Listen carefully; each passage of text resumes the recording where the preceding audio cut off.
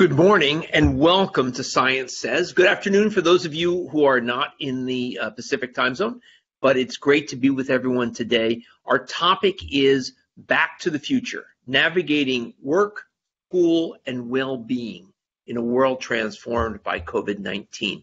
My name is Tom Lynch. I'm the President and Director and the Raisbeck Endowed Chair here at the Fred Hutch, and I could not be happier uh, to be with everyone today. Thank you so much uh, for spending this hour with us. Before we start on today's topic, which will easily fill our hour, and I'm sure will fill up the question and answer box quite quite quickly, I wanted to share some exciting news. Now, many of you may have seen this either in the national cancer media or in the Seattle press for those of you who live in the Puget Sound area. Uh, but about three weeks ago, the Fred Hutch and our Seattle Cancer Care Alliance partners, the University of Washington Medicine and Seattle Children's, announced that we're exploring a restructure to bring research and patient care closer together to create the Fred Hutchinson Cancer Center. We're extremely excited, excited about this because this new organization will bring together the people, programs, and facilities of the Fred Hutch and the SCCA into one remarkable organization. We believe by doing this, we will enhance our basic science, our clinical science, and our translational science capabilities while creating the world's finest place to be treated for cancer across a broad spectrum of cancers, including areas that we have always innovated in, like bone marrow transplant and the treatment of leukemia and we'll continue our leading edge research uh, programs both at the Fred Hutch as well as UW Medicine and Seattle Children's, which will be our partner in our Comprehensive Cancer Center grant. Now, we're still very much in the planning stages, but if all goes well, we would hope the change would happen in the early part of 2022. Um, this is great news for patients. It's great news for Seattle and Puget Sound, and I think it's great news uh, for cancer uh, patients globally at this point. I'll be happy to answer any questions about this during the Q&A um, if, you, if you'd like to, to ask those at this point. But let's get to today's topic, which is about COVID. Now, we called this, titled this one Back to the Future. And, and I think it's really important to, to point out that um, life has gotten better, but it's certainly not back to the way it was pre-pandemic, and and it it's unclear if it will ever be exactly the same.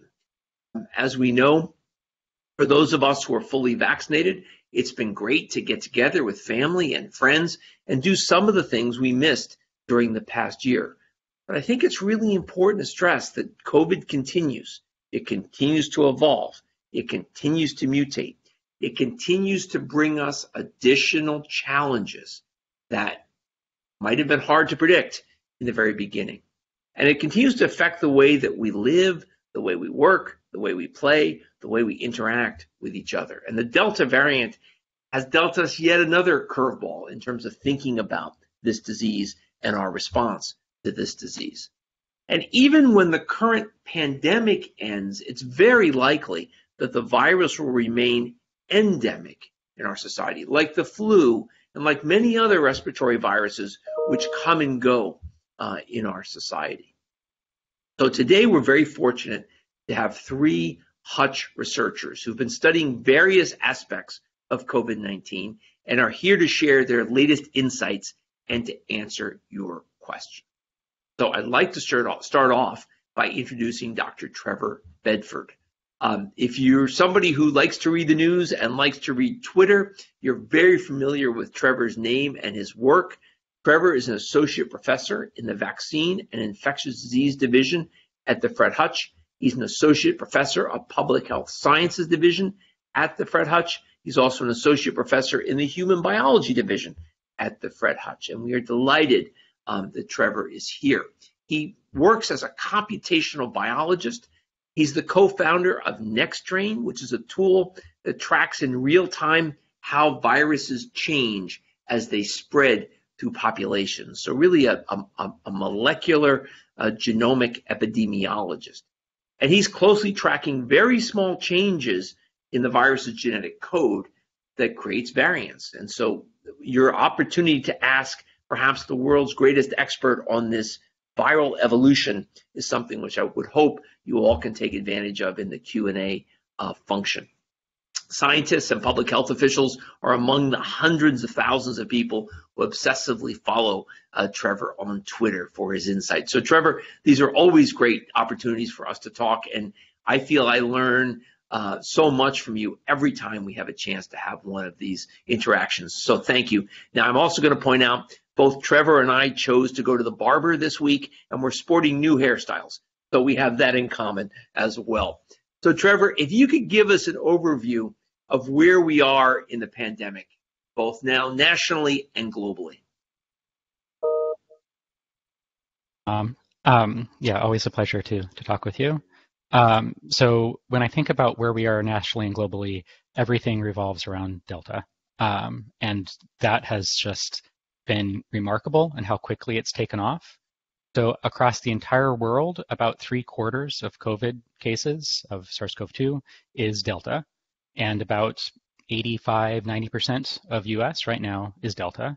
That happened in the course of like basically March to today, which is way faster than we see kind of generally um, variants emerge in other diseases and take off and spread. Like, for instance, influenza, when you have a new vaccine, a new drifted strain that they need to make a vaccine to, et cetera, that takes generally about three years to emerge and, and take off rather than just a, a few months. So this, uh, um, this rapid spread of Delta has been remarkable. It's driving state level epidemics now across the country. I, I expect that the states with less vaccination will kind of peak higher, and states with um, with more vaccination will peak lower. But we're still on track right now to have higher caseloads in King County in the next um, few weeks than we saw in the middle of winter, which is which is remarkable. Um, I generally uh, expect that we can have a lot of cases that will, will happen in, in King County and in the US uh, in the following weeks. There should be many fewer deaths, um, in large part because the vaccines work well. The cases are largely in the unvaccinated population, and the unvaccinated population really trends, tends to be much younger than the, than the vaccinated population. So we can expect lots of cases, fewer deaths. Um, and then globally, we're seeing that Delta is driving epidemics and countries that had successfully suppressed COVID in its earlier form. So we have places like Thailand and Vietnam that basically had had very little circulation and are now seeing epidemics not on the par with some other countries, but still sizable epidemics at this point. So I guess Trevor, one question: Is it the is it the Delta virus that's dramatically different, or is it the the population that's being infected that's dramatically different. I had an argument with a family member at a at a uh, uh, hmm. at a dinner where the argument was about is this virus itself more virulent? We know it spreads faster. Is it more virulent? Is it less virulent? How much of this is the population versus the virus? Yeah, so um, so there's a few key um, mutations in Delta that make it more transmissible. The uh, it's not 100% clear on this. The hypothesis is that it is more transmissible because it gets to higher viral loads within individuals. It's better at attaching to cells and better at replicating and so forth. And so you get people that are infected by Delta will be breathing out more virus um, than people not, and it also tends to ramp to higher viral loads more quickly. So you're more you're more contagious earlier in the course of illness, which helps with spread as well. And um, uh, a knock-on effect there is that generally we see that higher viral loads are associated with more severe infections. There's a number, a decent number of good studies here. I'm thinking of Public Health Scotland, um, as well as Public Health England, um, as well as Israel, where uh, you can look at how the fraction of cases that go on to be hospitalized, and you see about a 2x increase of Delta cases that go on to be hospitalized once you control for age and vaccination status and other things. So, uh, so by having higher viral loads, it becomes much more infectious and somewhat more um, severe. So yeah, roughly 2x more likely to be hospitalized than, than um, previous form. Okay. And Trevor, were you surprised by the emergence of Delta? Did you think when you when you looked at the uh, at the structure of of the original uh, uh, variant uh, of the original uh, alpha or whatever it's called, the the, the the the one we had initially, Um, did you think, gosh, a few changes to the spike protein would be enough to change infectivity? Is that something you worried about? The yeah, if we if we like kind of think of a timeline here, back in like um, I don't know October 2020, uh, there wasn't really a lot going on with the virus with SARS-CoV-2. There's a few mutations, not very many. I expected it to be like seasonal coronaviruses or like one of the weaker flus mutate a bit. We have to update the vaccines every three or so years. Not not so bad. Then we had the initial variants of concern emerge, like alpha, beta, gamma, and those those kind of appeared with all of these mutations all at the same time. Like really remarkable, kind of obviously something going on there. And then just by seeing kind of how rapidly they displaced other diversity, that kind of let us know that something's going on. Um, uh, however, Delta was a little um, funny this way in that it actually has fewer mutations than alpha, beta, or gamma. And the mutations aren't some of the key residues that you might that we were like honing in on from the other VOCs. So if you just looking at the sequences, I did not think that delta would be what it is compared to alpha, beta, gamma. And then by having this massive epidemic in India, it wasn't clear whether that was driven by Delta or something else. And so it was only really wanted once you started having these kind of Delta upticks that were um, uh, a spillover from the Indian epidemic that it kind of became clear uh, really how much more transmissible and fit it was than uh, the other variants of concern. And so, so then, Trevor, the natural question becomes, how worried are you about what's next? Because you know we hear about Lambda, we hear about other variants that are out there. What what does your radar screen make you worried about? Yeah. Um, so of everything that is currently circulating, Delta looks like the worst or the, the worst thing. Um, you can kind of gauge that basically by you look within countries that have both say lambda and delta and you see which one is is winning and kind of delta is currently outcompeting outcompeting everything. Um, i'm not panicked about delta like the we our vaccination is is doing its thing and so forth. Uh, the longer term horizon is is a little scary. Um, so we don't have anything like this that's circulating. So um, there's this concept of R naught, of the number of um, secondary infections that one infection causes, that gives you an idea of how hard it is to control um, epidemic spread. And so flu R naught is about two. Um, uh, COVID started out as three, maybe three and a half, and now it's maybe five or six with, with Delta. It's unclear if it caps out at seven, eight. Like we don't really know how many, how much more legs it has there. It is perhaps as evolvable as influenza, where we can expect it to kind of be evolving to escape immune response. And it, um, and it has a higher um, IFR um, infection to fatality ratio than flu, perhaps two or five fold higher, something like that. So the kind of something to live with and something to be uh, like the only thing really going for us then is we have a really good vaccine.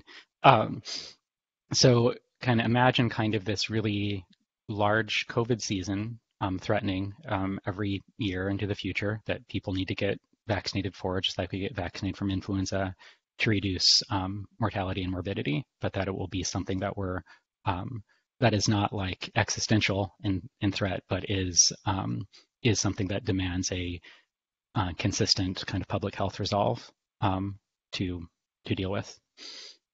And so, Trevor, the uh, question about boosters. So we have, you know, Germany has talked about uh, doing boosters for for elderly patients or people who are immunocompromised, um, and some other countries are bringing this on as a concept. Um, and yet, the WHO is calling for a moratorium on boosters until all countries can vaccinate at least 10% of their populations. Tell us where you stand on this and, and what the I'm not saying there's a right answer, but but what the different answers mean.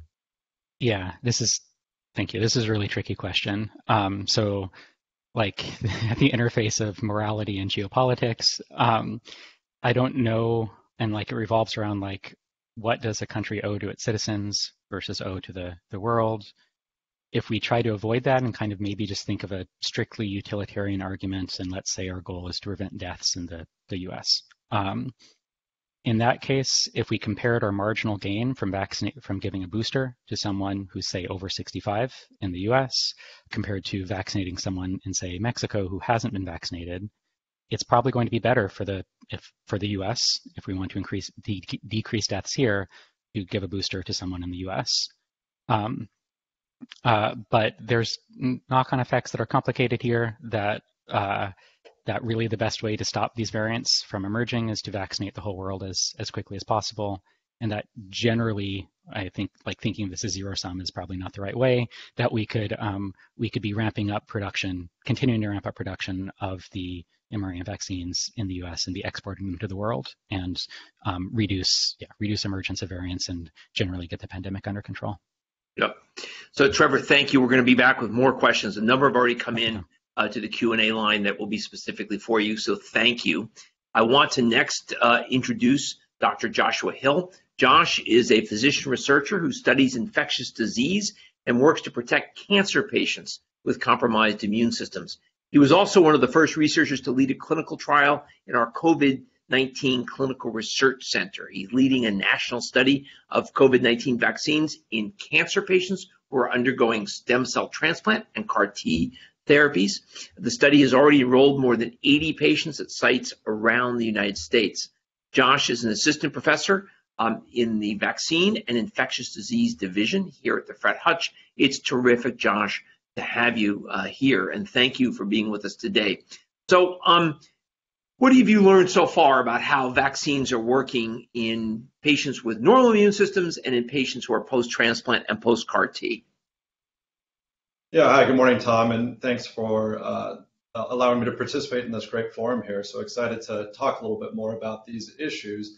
So yeah, we're we're rapidly uh, ramping up this study around the U.S. So it's a great opportunity to use this big infrastructure to uh, enroll a lot of patients so far, what we're seeing is a lot of individual small studies coming out from different cancer centers around uh, the country and the world. The goal of this study is to try to enroll up to about 750 patients around the US in a pretty short time frame.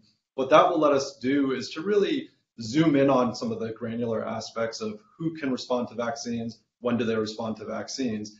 And so what we've learned from some of the studies that have come out so far is if you're a year or more out from active chemotherapies, from bone marrow transplant, from CAR T cell therapy, and what have you, you tend to be able to mount pretty decent responses. We're seeing responses around 80%, 90%. So near approaching what we see in our healthy individuals. Despite that, many of these patients don't get quite the same levels of antibodies. We don't exactly know what level of antibody is enough to prevent infection, but we are starting to understand that there's what we would call a dose response relationship. So the higher antibody level that you get is more likely to uh, prevent infections. Uh, so what this study will hopefully allow us to do is to look at, hey, in your earlier uh, group of patients, if you're three months out, six months out from transplant, which is when we're starting to consider vaccination, how often do you respond? What predicts whether you respond? And some of the studies out there so far show that response rates are close to 40%, 50%. So definitely still a lot of work to do to protect our patients early on after chemotherapies and transplant. And Josh, there's a number that I seem to have seen from the oncology literature that suggests that 25% of vaccine recipients who've had intensive chemotherapy do not have significant antibodies. Is that number right, or is that just one study? What's your take on what the real number is there of how vulnerable our cancer population is? Yeah, I think that's about right. We see a lot of variability depending on the specific type of cancer, the specific type of chemotherapy, but we are seeing that, you know, up to a quarter or a third of individuals do not make good responses and don't have the, the level of response that some of our healthy uh, individuals getting vaccines do. What we're starting to learn more about are other aspects of the immune response. So antibodies aren't everything. And so the other big aspect of controlling viral infections is your T cell response. And so more and more data are coming out now that even people that don't develop an antibody response can nonetheless develop a T cell response. And so that might not protect you from actually getting the infection, but it can protect against severe disease and getting hospitalized, uh, et cetera. So I think there's still a lot more to learn. And I, I think the important takeaway is that there are a lot of benefits from this vaccine, even if you're not developing a, a really high antibody response. Okay. And so, Josh, uh, we've just heard from Trevor that the Delta variant is particularly contagious. Uh, and I guess one of the things as a clinician that I'd like to ask you is how much of a threat does Delta pose to fully vaccinated people? And, you know, we've been seeing some examples in the media um, and uh, and even in Seattle of people who are fully vaccinated who have tested positive for Delta, some who've developed infections. What are you seeing from the clinical perspective of people who are fully vaccinated and who get Delta? Yeah, I think that's a really critical question that's on lots of people's minds these days. And I think a lot of us now know people who've had breakthrough infections, and certainly we're hearing about this on the media a lot. I think the, the reality is that we're still learning exactly how often this happens and uh, what the true numerator and denominator are in this equation. But what we are seeing is that breakthrough infections are happening. They're probably a little bit more frequent uh, with Delta than what we saw in the initial clinical trials because that variant was not really around when the uh, initial vaccine trials were occurring. Uh, so despite the fact that there may be a slight increase in the in the risk for getting an infection despite being vaccinated, we don't think we're going to see much of an increase in the risk for progressing to hospitalization or death.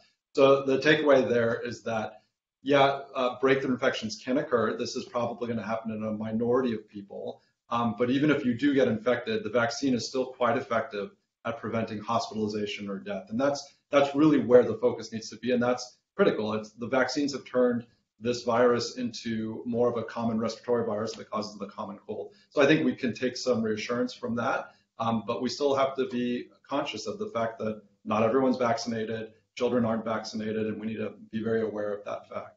Yeah, and I think Josh, one of the things that I constantly come back to is um, that that it's important for us to think about mitigating risk from the virus even if you're vaccinated, because not only do we worry about variant emergence, but by keeping down infection rates, even in non even in vaccinated people, will hopefully take less um, uh, less burden on our healthcare system. And I think that's really really important.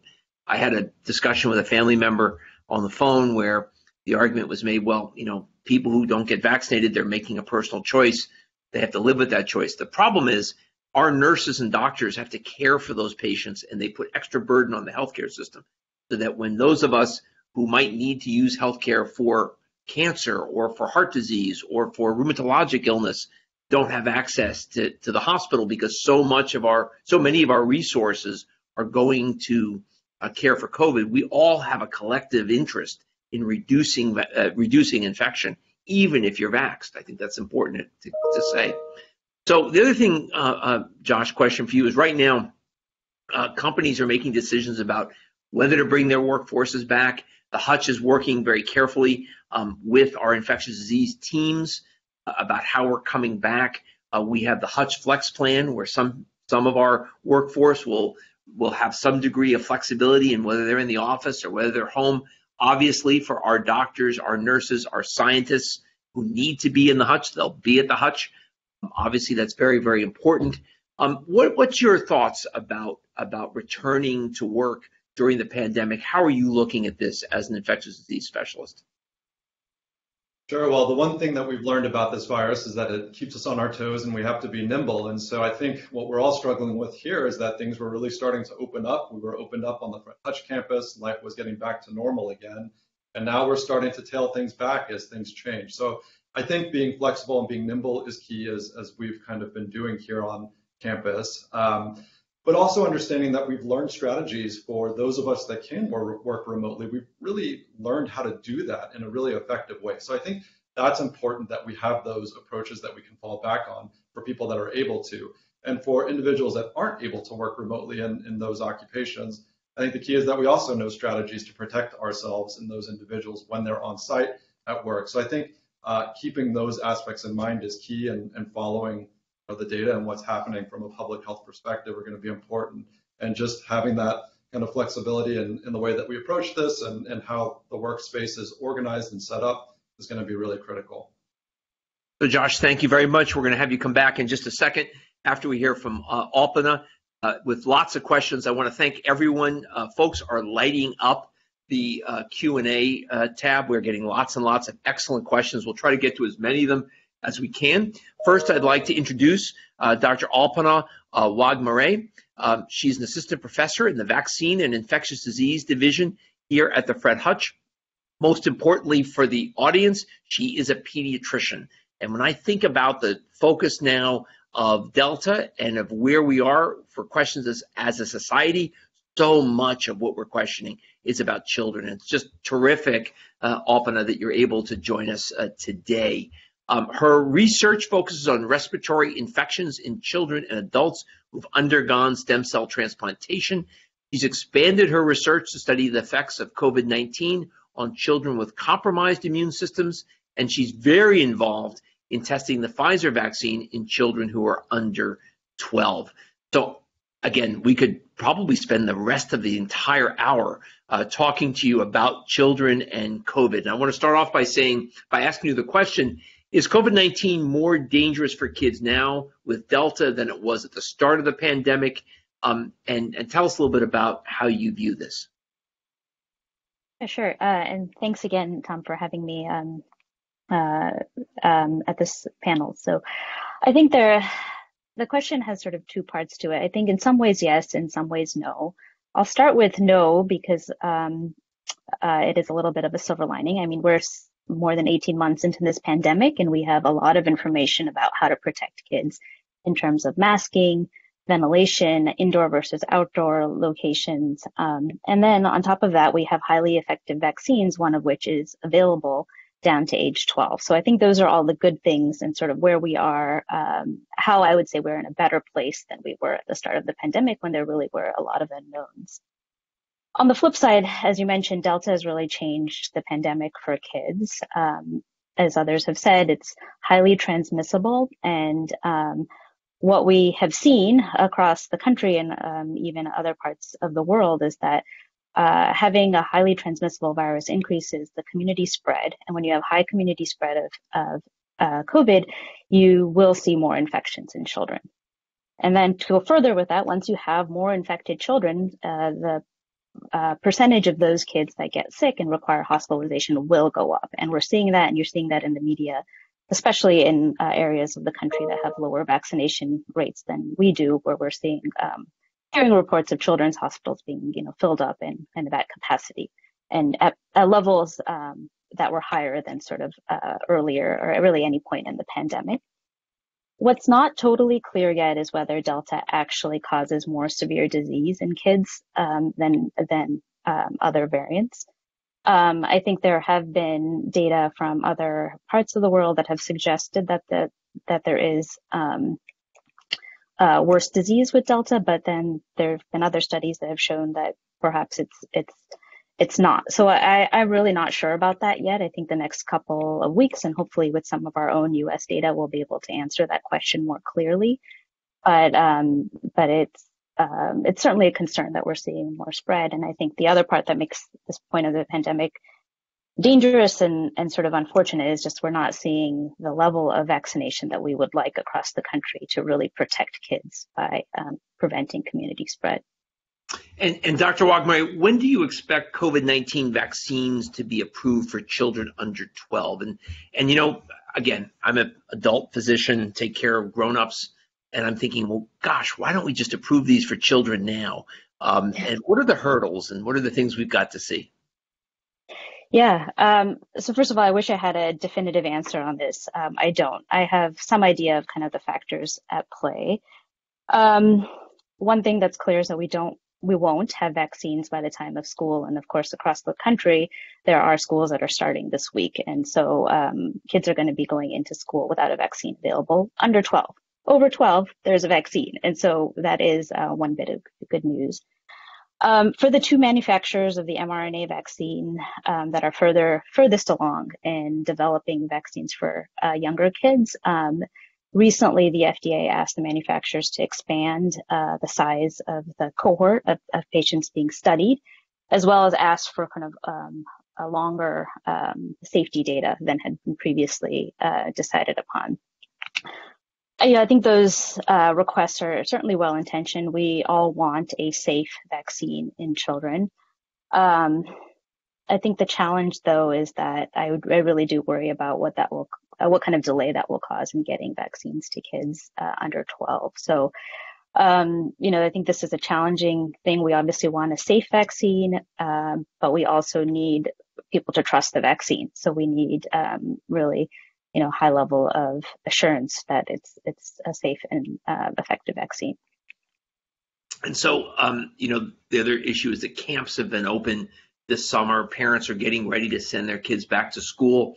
Um, you know, my, my, I think I've said to this group many times, my daughter is an assistant principal of a middle school in in Dallas, um, and they actually just um, announced that the Dallas Independent School District, where she works, um, has decided to to violate the ban on masks, uh, masking requirements that the governor has said, setting up a political confrontation between the superintendent of schools and the governor of the state of Texas um, about masking. You talk a little bit about masking in the in the elementary school and in the middle school uh, realm? In middle school, there not too many kids are vax still, even though they're mostly over 12. Comment a little bit about that. Sure. Um, I do want to make one point, uh, just that, you know, I think um, pediatricians, of course, not just me, but many uh, national societies have really emphasized the importance of getting kids back into in-person school. So we know that there are academic setbacks, but there's you know, tremendous social and emotional setbacks that have occurred over the year with remote learning, especially for younger kids, especially for um, kids coming from uh, communities of color, where we've seen that uh, remote learning has really exacerbated inequities. So I just wanted to make that that point clear that you know in-person le- learning is definitely important. Um, in terms of how to protect kids, um, you know, I think it's really unfortunate um, that um, that so much of the decisions or um, that there's so much political background to some of these decisions. I mean, I think to me, it's perfectly clear that masking will protect kids, uh, both vaccinated and unvaccinated kids. So I, for to me, that's not really um, a, a question. Um, and I feel really, it feels disheartening to hear sort of these stories like you mentioned about your, your daughter's school. I mean, it just seems crazy to me.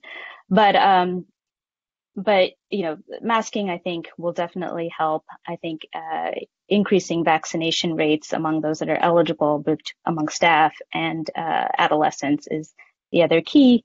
And then um, really, you know, there's a lot in that the CDC has provided around guidance regarding ventilation and sort of how to protect uh, kids in school, but keep them in school, uh, not only to start school, but also um, continue in school, even if we do see cases um, pop up and um, uh, and how to deal with those.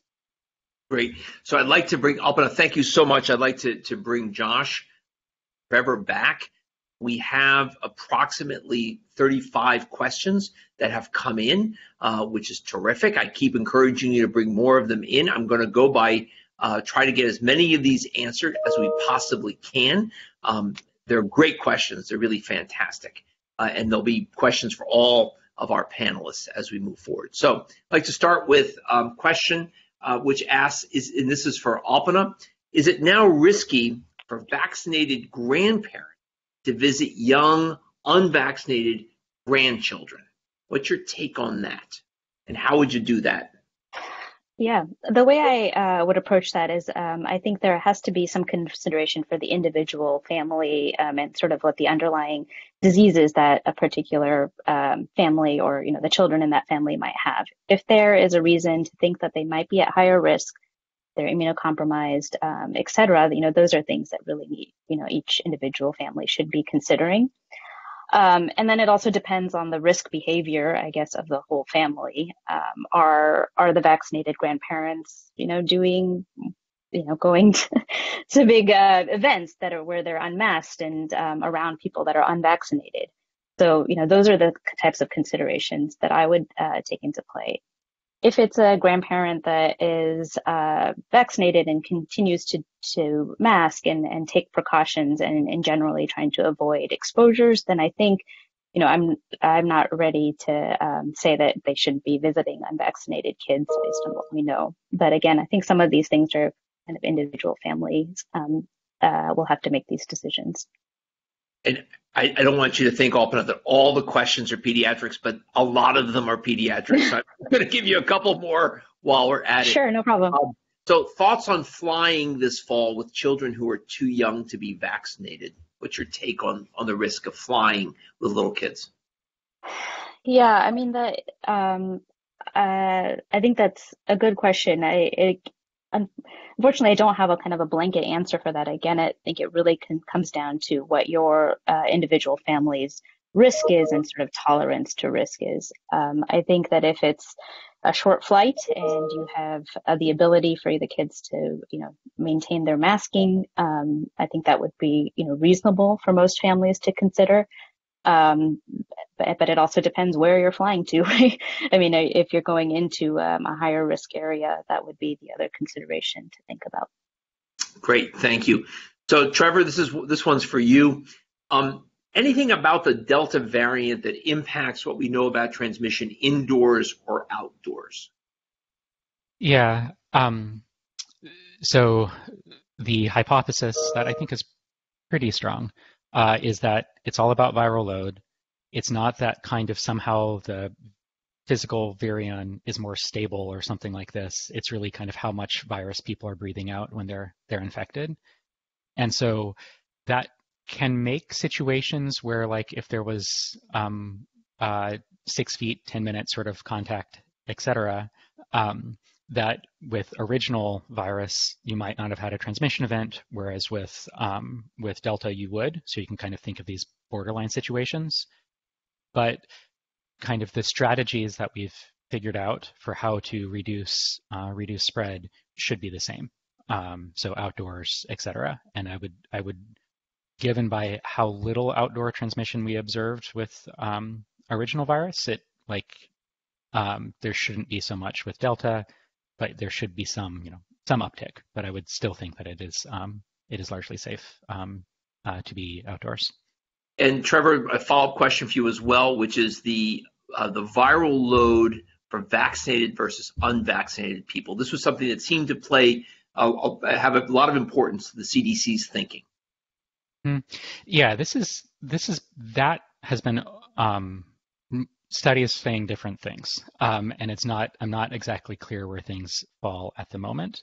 Um, earlier on, we had most studies saying that viral load of breakthrough infections were um, was significantly lower, and um, more recent work is there's other studies saying that it seems to be equivalent. Um, with the sequencing work that we're doing, or the work that we're doing with Seattle Flu Study, we're seeing largely similar viral loads between the breakthrough infections and the non-breakthrough infections.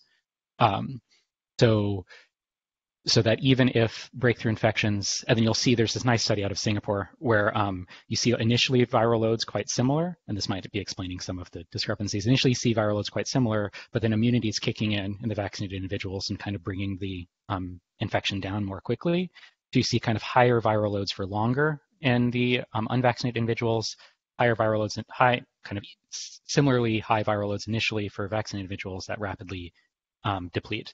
And so that that probably yeah probably explains most of things. Okay, and so uh, thank thank you, Trevor. Josh, um, question, and there's actually several questions like this, and and Alpana, you might have a um, a perspective on this as well. So, um, Josh, what are your thoughts on on women who are looking to get pregnant but are concerned about the vaccine um, at the time they're thinking of getting pregnant? So, I guess the question to you would be is there any evidence of any reproductive ab, uh, disadvantage to getting vaccinated while you're trying to get pregnant? And Alpana, is there any evidence that if you are pregnant already and and and have a have a a, a baby in utero, um, is there any evidence that there's any danger to being vaccinated in that setting? Josh and then Alpana. Sure, and thanks for bringing up that question. I think it's an important one, and uh, in the initial trials, pregnant women were excluded, and that's part of the typical approach for clinical trials with new medications, but of course left a lot of people out there wondering what the best approach was. What we do know uh, definitively is that pregnant women who get infected with COVID 19 have worse outcomes and have quite severe outcomes often. And this is something we've seen with other respiratory viruses. So there is a real risk there of getting an infection while pregnant. And subsequent data since the clinical trials were performed have shown that some people that got pregnant while on those clinical trials had healthy, uh, normal babies. And we haven't seen any risk factors for getting vaccinated while you're either trying to get pregnant or while you are pregnant. So there have been follow up studies that have shown this to be quite safe. And I think uh, really important for pregnant women to get vaccinated because of their specifically increased risk for bad outcomes. So that's my take on it. I'd love to hear what uh, thinks as well. Yeah, no, um, not much to add. I totally agree. I mean, the the risk of getting COVID and having severe disease while pregnant is significant, and um, there is no um, data to suggest that there's a risk to the mother or um, the the infant by getting vaccinated. And certainly, the the largest um, uh, professional group, the American College of Obstetrics and Gynecology, has recommended all pregnant women get vaccinated. Great. So, Trevor, um, you mentioned an R0 of five to six for Delta. Is the R0 the same for vaccinated and unvaccinated people? Um, the the technical definition of R0 or R naught is uh, is you have a new virus in the population. You have someone who's infected, and then given kind of normal behavior patterns, et cetera, they're going to be making contacts, and it's how many people do they spread it to.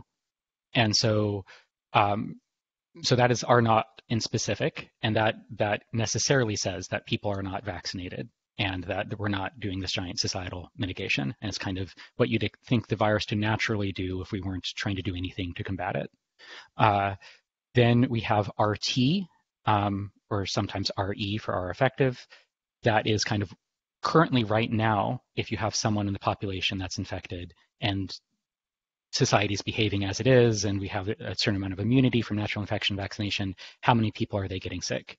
And if um, RT until Delta, um, or recently um, uh, in like April, uh, was firmly below one, and we had an epidemic that was dying out in the um, in the U.S. Uh, Delta has flipped that so that um, transmission is largely in the unvaccinated um, uh, individuals. RT is now 1.2, maybe 1.3 ish, and that that's why we have this this growing um, growing wave. We'll expect that to create enough uh, population immunity in the unvaccinated uh, individuals that then RT will again, again drop below one and it will kind of come back down. So we have this kind of constant dynamic interplay between what the virus is doing, uh, population immunity, and, and behavior. Great, thanks, Trevor. So um, this could really go to any of you, and I've, i think I'm going to give this one to Alpana uh, to start with. Um, and it comes down to the fact that um, depending upon the week, uh, whether it's Fox News or CNN, um, you'll see a tremendous amount of criticism of the CDC, depending upon what the topic happens to be. And so there's a lot of criticism on the inconsistency of what we're hearing from the CDC. Now, I had the the, the real privilege of working um, with uh, Dr. Walensky when she was at MGH and I was at MGH. I know her to be an outstanding physician scientist who really does care. Um, and yet it's hard, I think, for people to understand that sometimes data changes. And so, Alpana, how do you advise people to look at the advice from the CDC? Are you frustrated by it as a pediatrician in this area? How do you sort of look at this data inconsistency problem? Yeah, sure. Um, I mean, I think to me, um, some of it is also in in the messaging, both directly from the CDC, but also um, with the with the way the media reports on it. Um, it's really unfortunate, I think, when they uh, use work, words like backtracking or reversing recommendations, because to me, I mean, I think um, you know we are following the science and we're learning more, obviously, every day, and so that messaging around, um, you know, using that word of like changing their minds or sort of backtracking is is challenging, I think, for sure. Um, that being said, um, you know, I, I think it is a challenge. These are challenging messages to get across.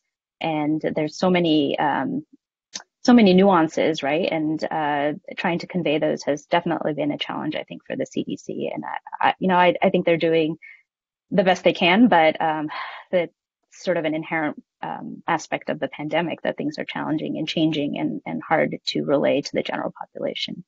Yeah, I think understanding that change is part of the process of a pandemic uh, is is important and hard for people to get their arms around, which is difficult. So, Josh, this next one is for you. Um, I'm a sports fan. This isn't for me, but it's in the in the list as well. But it's I'm kind of modifying one of the questions. I'm a big sports fan. I really love watching sports. Um, and uh, many of you may know that that uh, um, Lamar Jackson, who's a quarterback for the uh, for the the Baltimore Ravens, really good player. um, just had his second bout of COVID and has said that he will not be getting the vaccine um, and has made that personal decision. Um, does that make sense that you've had two bouts of COVID? You therefore have an incredibly strong immune system. Is there anything more to gain if you've had one bout of COVID or two bouts of COVID? How do you advise people who have survived the infection with relatively modest side effects?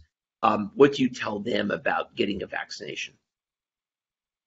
Yeah, it's a it's a challenging question, um, and one would like to think that after having to go through the ordeal of getting the infection, that you might be even more motivated to get a vaccine. But I think the key there is is educating people about what the potential risk benefit there is. And some data that's come out of the Hutch and from other collaborators has shown that you might actually get a broader immune response and a different type of immune response to the vaccine than you do with natural infection. And it's it's hard to think that we've actually improved on you know nature and what the actual infection itself can do for boosting immunity. But certainly the vaccine does have uh, additional benefits beyond uh, the primary infection. So I think there is a key motivation there that people should be getting uh, the vaccine and that it can protect you additionally from getting future infections. So yeah, I, I think there is a lot of uh, merit there, and we do encourage people to get vaccinated even if they've had prior infection. So move to Trevor with this question because Trevor, there was a time when you spent a lot of your focus thinking about testing.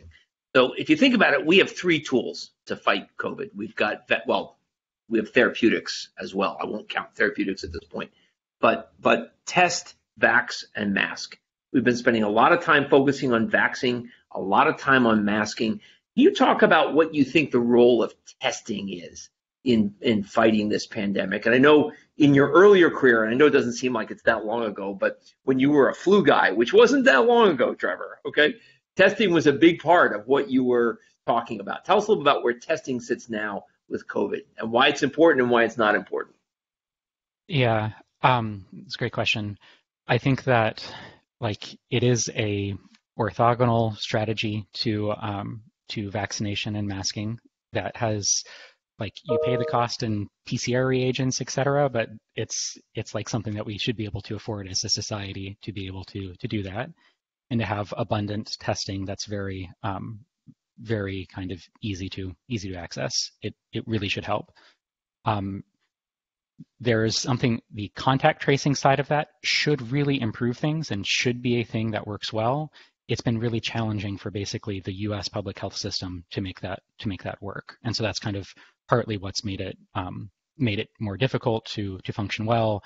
Um, so that testing is largely about kind of confirming that it's COVID and you you really should isolate rather than actually kind of quarantining people that were were exposed. Um, so I think it, it should obviously it should be a real strategy. Um, it it does really help. Uh, Delta has um, made this more challenging than it had been in that if we have a shorter generation time, so you kind of ramp to infection more quickly, it makes that kind of that timeline that you have to follow to um, to quarantine and isolate uh, even more challenging for Delta. Um, but I, I, do think it should absolutely be a, a, tool that we have going forward. Yep. Thank you. Thank you, Trevor. So, uh, Alpana, this one's for you. Um, and I want to thank the, the participants for the questions. The questions have been absolutely fantastic. Um, and this was kind of alluded to, but I want to just make sure we're clear on this because a lot of questions coming in around around parenting and questions like that. So this has have there been any studies on breastfeeding moms who've been vaccinated and the level of protection it provides babies? Yeah, um, so there have been studies looking at, so you're talking about vaccinated or infected uh, COVID positive, I mean, sorry, mothers and the levels of antibodies in the breast milk. Um, so I think, you know, I would say that the um, there have been studies that have looked at uh, antibodies basically in breast milk for COVID and for other respiratory viruses. But certainly, people have been doing that for a long time and have found that there are um, uh, levels. What we don't know for sure is what protection that provides um, uh, to the infant, and especially for COVID, I don't think I've seen any great data really showing that. It's a hard thing to show, but um, but we know that there is there are antibodies in breast milk, and um, I would hope that that would provide some uh, protection for the infant as well. I just don't think that those studies have yet been done. And have we seen infections in infants? We have seen infections in infants, um, not common, I would say. Um, and I think, you know, during most of the past 18 months of the pandemic, I think most uh, parents have kept their infants pretty well isolated and protected, like normally people do with their infants anyways. But we have seen cases in Seattle. And um, if you look at the national data, certainly there is a uh, there is a group there that's um, uh, uh, that's positive. Um, I think there because the numbers are pretty small. It's hard to say definitely if they've had more severe disease. Um, there have been instances where we've seen that here in Seattle, but um, we do see infection in infants. Okay, Josh, question for you. Um, tell us about long haulers. Has this turned out to be uh, to be accurate? Is it this? Is it something that we should be concerned about um, now that we've had 18 months to follow the impact of of infection on people? What do we know about long haulers? Yeah, I think this is definitely uh, something at the top of people's minds that even if they do get infected and have a relatively mild course, what we're learning is that you can nonetheless have these really prolonged symptoms that we're still trying to get a handle on. But but certainly there is this potential new wave of what might one might call a new crisis of these long-term symptoms that people are really suffering from. So trying to get a better handle on that is going to be really important. Um, but we are seeing more and more reports of that. Uh, more work is definitely needed to better understand what are the risk factors and how do we prevent it. And so I think a key that we haven't really talked much about in this venue today are other therapeutics besides vaccines, right? I think I've seen a few questions that have come up uh, about that, but certainly there's still a huge amount of attention being paid to developing medications that can treat people who get infected despite being vaccinated or, or not vaccinated. So I think that's really going to be key is that alongside the vaccine discussion, we are still paying a lot of attention to develop a pill that we can give people early on in the course of an infection to reduce the risk that they get more sick or that they develop these long term. Okay. And I'll put another question for you about the mental and medical disadvantages of kids wearing masks all day long. Someone actually asked about the idea that does it reduce their ability to breathe in terms of oxygen levels. Um, I know, for example, when I was running or trying to play tennis with a mask, I found it kind of challenging. It wasn't wasn't very pleasant to do either of those two things with a mask. What about kids who are running around a lot? Any medical issues? And then someone someone else asked about the emotional issues of wearing a mask all day long.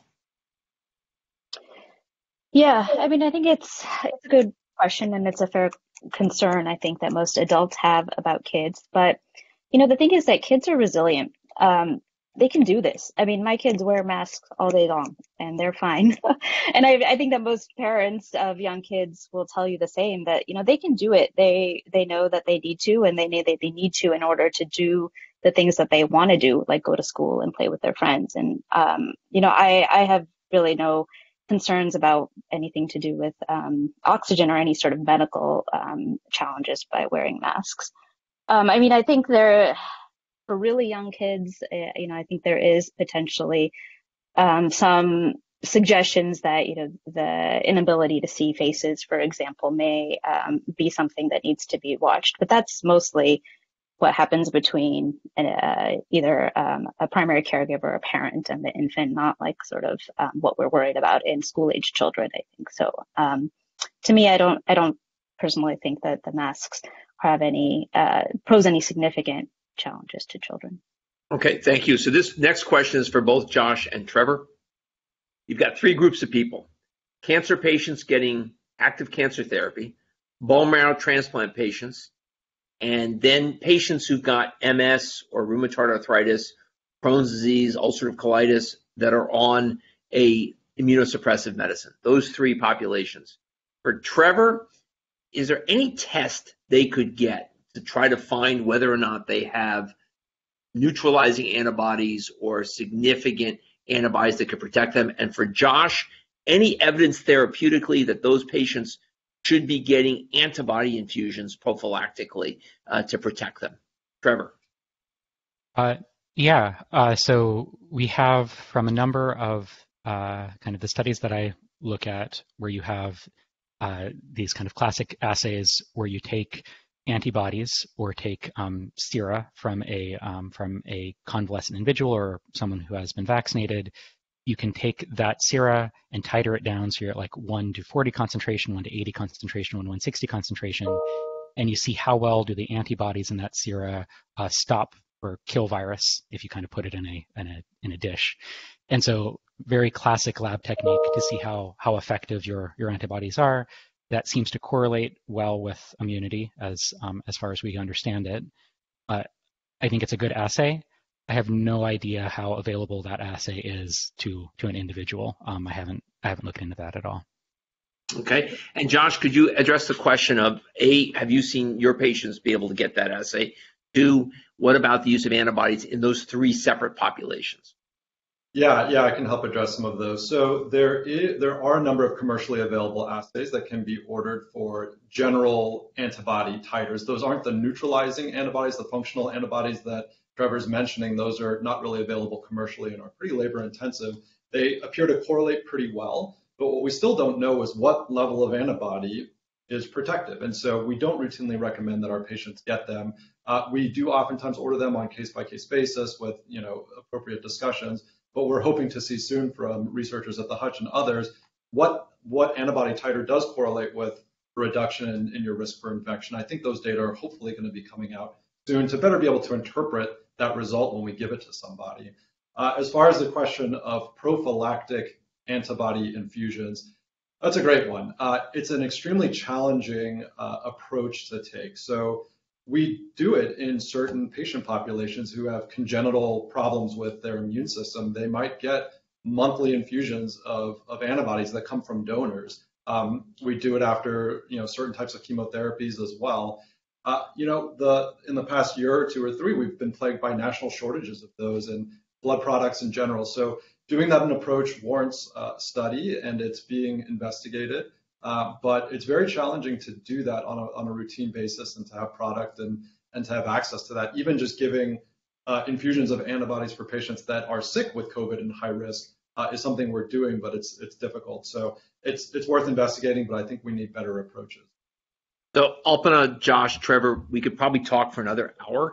I want to thank the three of you for a fabulous discussion and thank all of you who are with us today uh, for coming. I want to remind everyone that Obliteride is on August 14th, which is less than a week away. It's just this Saturday. Uh, you'll be, and we really, it's not too late to sign up. You'll be joining nearly 5,000 people from 50 states and 40 countries who are running, walking, hiking, reading poetry, and a myriad of other activities to support research at the Fred Hutch. This is our biggest year ever in terms of participation and we would love to get as many people as possible to do this. I'll be on my bike as well on August 14th, and so will many of my colleagues here at the Fred Hutch. And you can learn more at www.obliteride.org. Our Science Says will be back in early October with a focus on how we're taking our expertise in curing blood cancers and applying it to solid tumors like breast, lung, and prostate. And of course, we will continue to do programs which address the latest with COVID-19. In the meantime, I hope everyone enjoys what's what remains of the summer. Stay, stay healthy and safe, and we'll see you in October, if not before. Thank you so much.